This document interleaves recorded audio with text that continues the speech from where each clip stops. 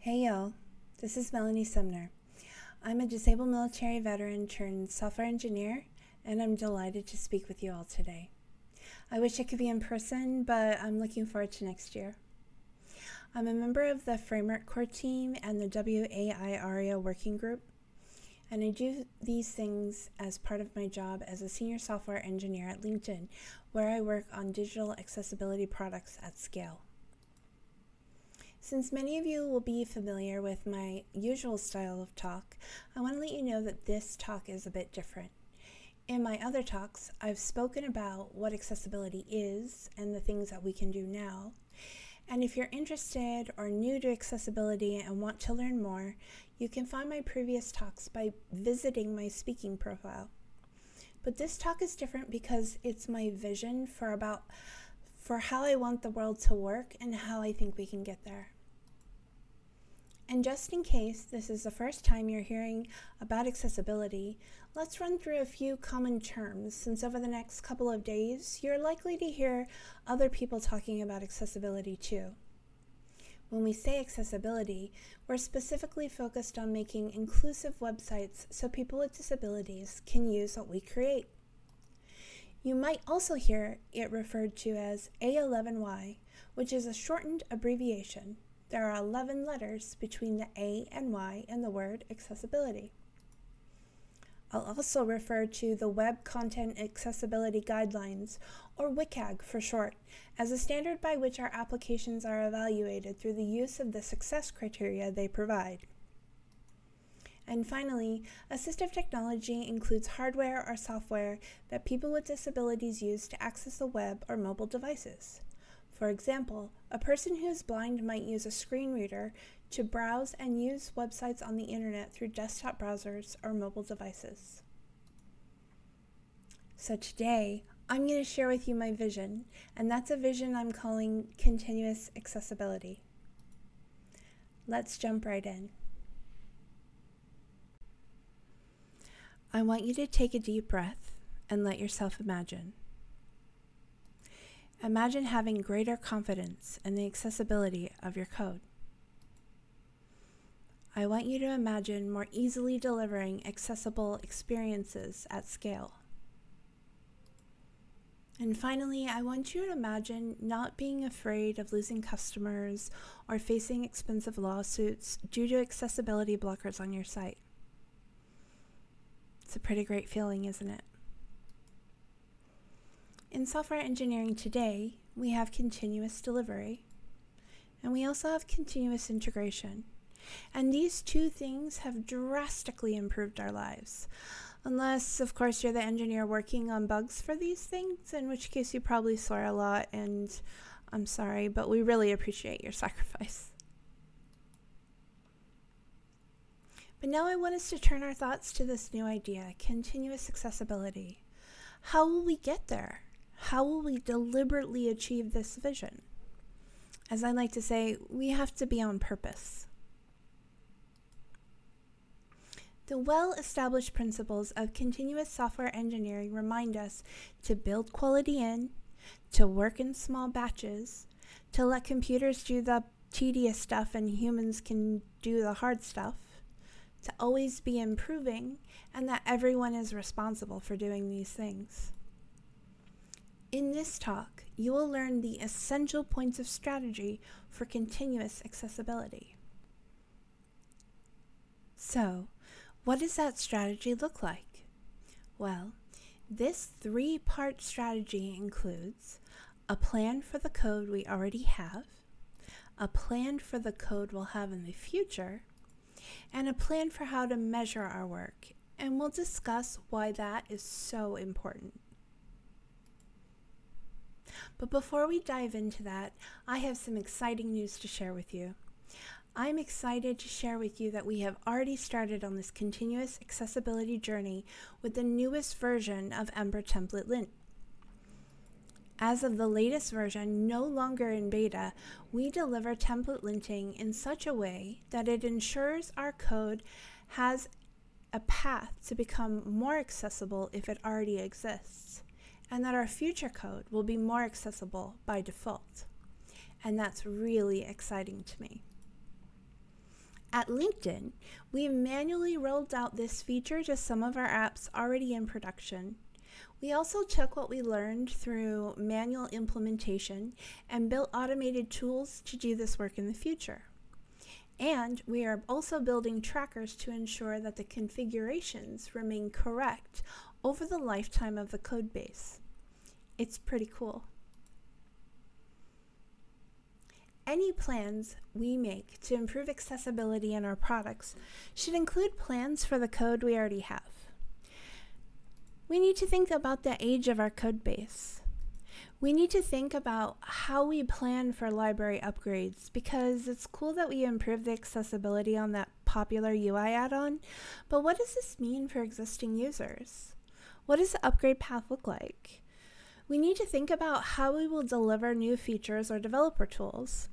The code that already exists will not be able to consume the latest and greatest upgrades unless we've done this thoughtfully and purposefully. And it might take some trial and error. This is especially true for apps at scale. It can be tricky to update dependencies, especially when they include breaking changes. Depending on the size of your code base, Taking in a new version of a dependency can mean extra developer coordination about which new features to use. And there are product and business priorities to consider. Features that we create for accessibility automation should make it simpler to deliver improved products and tooling to support accessibility as a facet of our craft. For the code we have now, we can wait for our users to report issues to us, but at the risk of losing customers. We can also rely on audits to tell us where the issues are. Ideally, we're automating our code linting and tests and periodically checking the code we already have.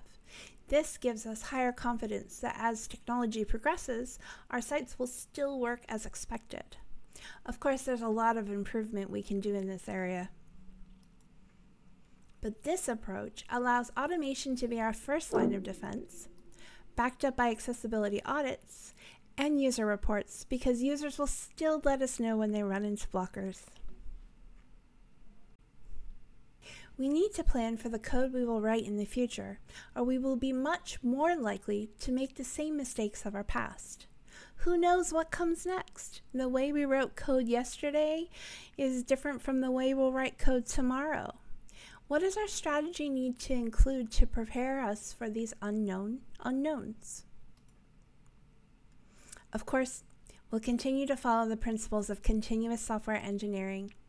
One of these, letting computers perform repetitive tasks so people can solve hard problems, is what I want to focus on.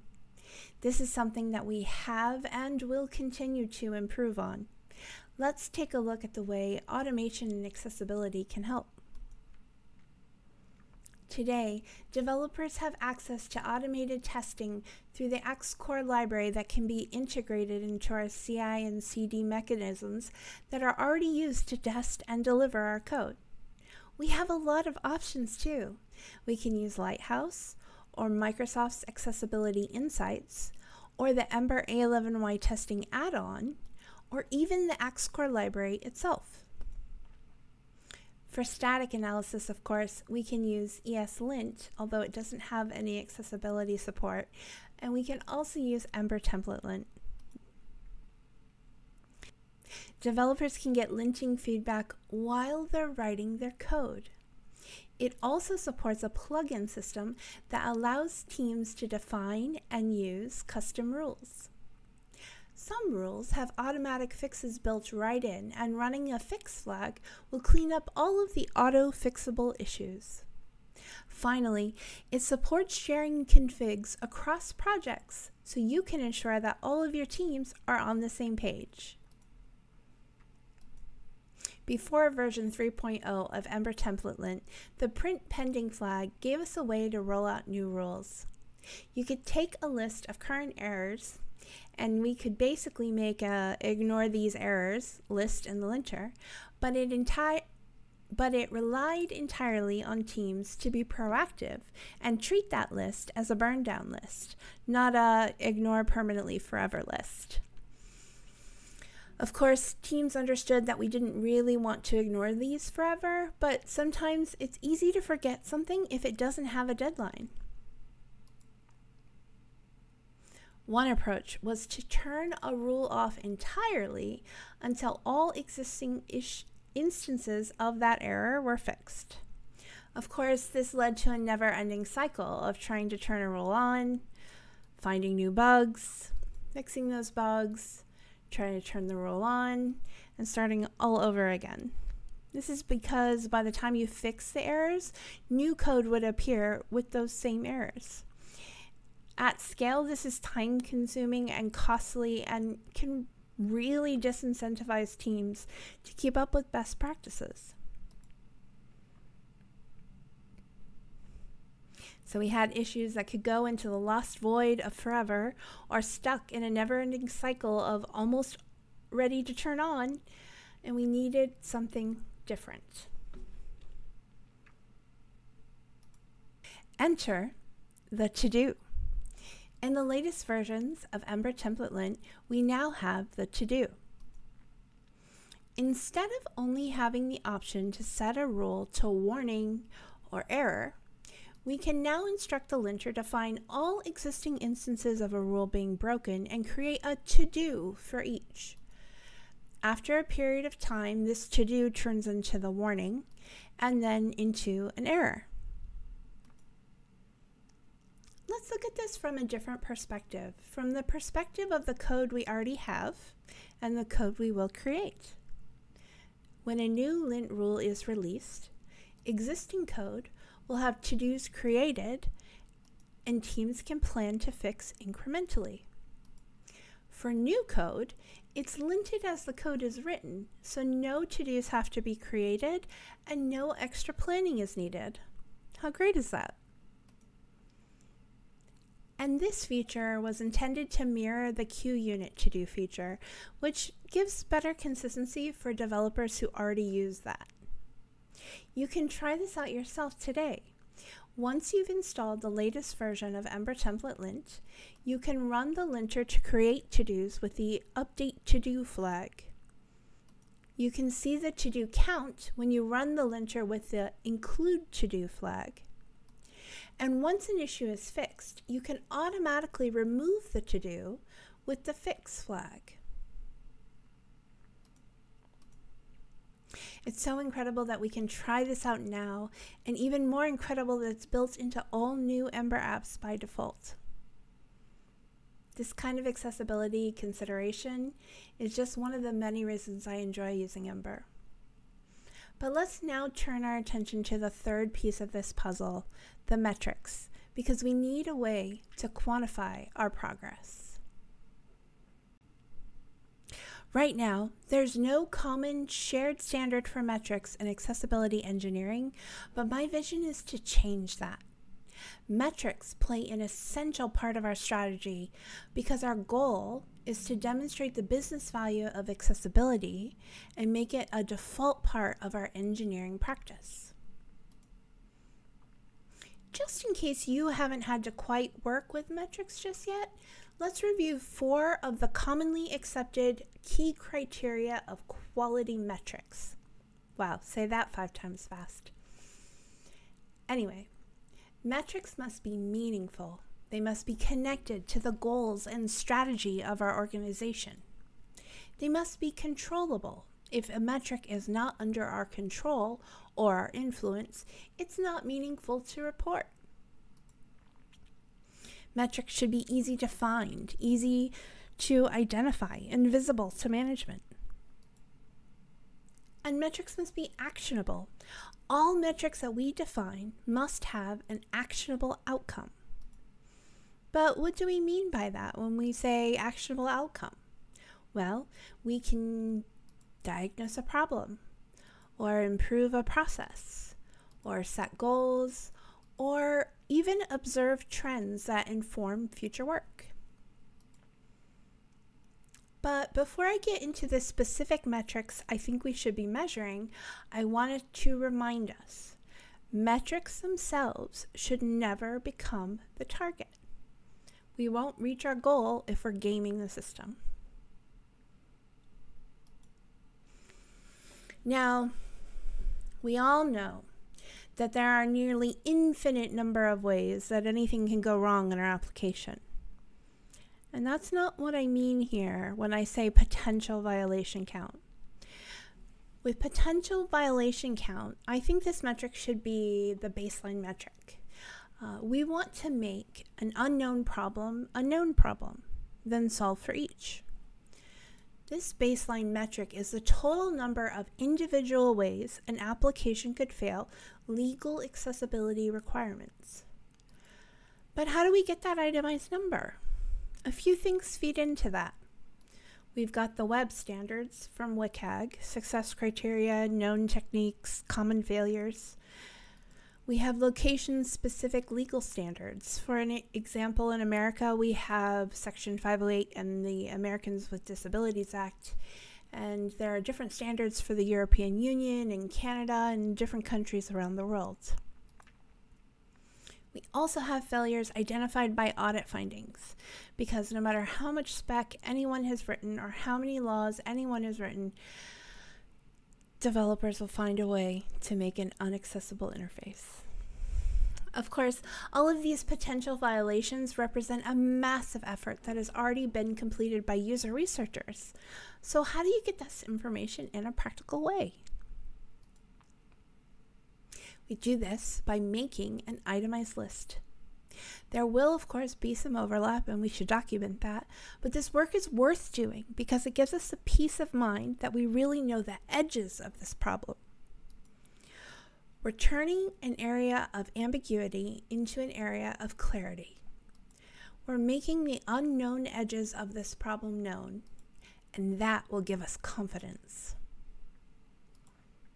And before you think, oh my gosh, Melanie, this is so much work, let me share with you the effort that's already begun to itemize potential failures. It's, of course, an open source project called the A11Y Automation Tracker, and it's just for developers and it intends to compile each one of these itemized details. There's an overall details list, but there's also the ability to dive into each potential violation and see the status about how it can currently be tested, the possibilities for the future, and the relevant criteria with links to documentation. Of these potential failures, of these potential violations, my initial analysis has indicated that about half of them are either already automated or potentially automatable. But what about the other half? Well, this means that the rest still require manual testing. And I want to emphasize this again. You still need manual testers. If you're a small company, just remember that accessibility is a journey. Do what you can now and do more as you're able. If you're a large company, I want to encourage you to not outsource this work. In my experience, a few well trained testers that share your company's values will be much more resource efficient than an entire army of outsourced testers. No matter what size company you are, though, I strongly encourage you to make manual testing an essential part of your accessibility strategy. Some of you who are already familiar with WCAG success criteria might be wondering, why not just use the WCAG success criteria? Well, here's why. Uh, they're generic. They cover generalities rather than specifics. For example, WCAG Success Criteria 1.3.1, Information and Relationships, is a single success criteria but can relate to at least 25 or more different failure scenarios. When I write a linting rule, it needs to cover one specific failure, even if that failure can present in different kinds of syntax. By identifying the edges of a potential violation count, we can then determine several related metrics. Violations for which we can provide automated linting for static analysis, violations for which we can provide automated testing for dynamic analysis, violations that require developer author tests, and violations that require manual testing. There are also metrics that we can look at from the accessibility audits that we receive? What is the total bug count? What is the bug severity count? How severe of an impact do these bugs have for our users? Some are worse than others. What is the time to fix? How long does it take a team to resolve an issue? And violation frequency. How often is a particular violation occurring? So I've given us some essential metrics to track, but what sorts of things are we hoping to learn? What impact do we expect to have? We should expect at a minimum to see some trends as a result of the actions we take. We can expect, for example, to see an increase in the number of automated linting rules and tests, since we have a better way to identify specific potential violations. We can also expect to see a decrease in some things, a decrease in support requests, in accessibility issues in new code, and fewer issues in code that has the new automation applied. Our audit related metrics could also inform process from a business and legal perspective, since they could be used to help quantify risk of legal action. When risk is quantified, we can then reduce that by taking specific steps to remedy the issues. And while this might be a business justification, the result is that our users have an improved experience. Improved monitoring also means that development teams know sooner if a product's digital accessibility conformance deteriorate, deteriorates at a rapid rate. It can also help us determine a threshold for new learning opportunities. If a high percentage of developers keep writing the same non-conformant code, we can produce materials that will help them on their learning journey. We can also use these trends to determine an app's overall accessibility health. We could even maybe put that in, oh, what's that thing Ember is really good at? A dashboard? In addition to trend analysis, we can use the metrics we gather to inform future work, such as which possible violations currently require manual testing but could reasonably be automated. What violation is happening the most? Is there a tool we could create to make that problem go away? How could we make it faster for developers to fix the issues that seem to take a long time to resolve? There are additional metrics to be considered here, but I think the ones we've discussed give us a solid start to quantifying accessibility in our engineering practice, bringing us closer to continuous accessibility. I think there might be a new tool that our community could create. I have a vision of this being maybe available as an open source tool, something that anyone in the community could use to improve the measurements of accessibility in their code base. Of course, this slide is a little ugly and maybe a little bit on purpose. If you're offended by the design, please consider helping out in this dream and designing something better. With our metrics in hand, though, we could use this data to see clearly and quickly how we're doing. As we have looked at how to think about our code and what metrics to consider, I hope you've seen a path forward to the vision of continuous accessibility. I hope I have inspired you to create something new or to contribute to an effort already in progress. I hope I have empowered you to think about accessibility in your code in a new way. A lot of the strategy I have talked about today is of my own creation, but I'm part of a team and I stand on the shoulders of absolute giants and I'd like to take a moment to recognize the con contributions of others on the project.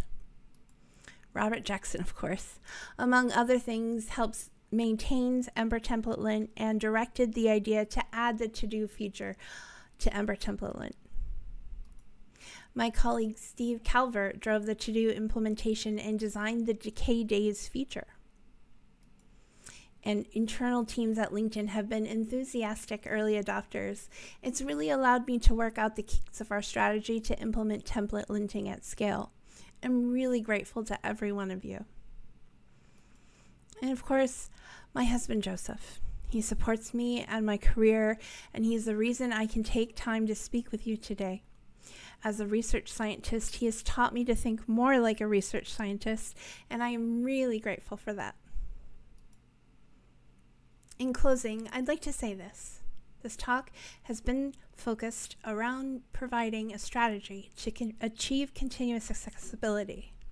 But when a measure becomes a target, it ceases to be a good measure.